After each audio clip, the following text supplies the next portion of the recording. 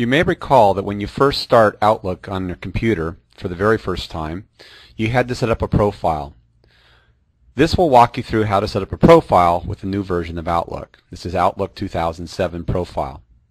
After you've launched the, the Outlook toolbar, you should get this screen. This is, you'll see this screen only the first time you run the program.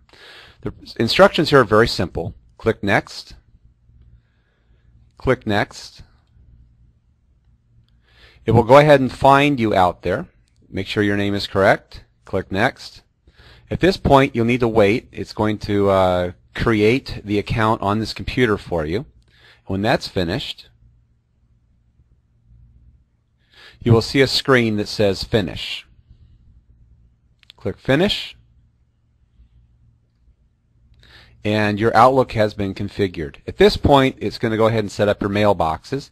Depending on the size of your mailbox, how much mail you have in there, that will determine how long this takes. Once Outlook has been configured and is running on your machine, you will get a series of questions. The first one here, uh, Windows Desktop Search, and these may not show up in the same order. The Windows Desktop Search, that is something that you can install it will uh, allow you to search your email and other documents uh, on your computer. Um, it will require that you restart the computer, so I'm going to go ahead and uh, say just cancel out of that for now. The RSS, if you receive a message that asks about RSS, simply click yes. There'll be more about that in future uh, bits and bytes and other uh, emails that come out in training sessions.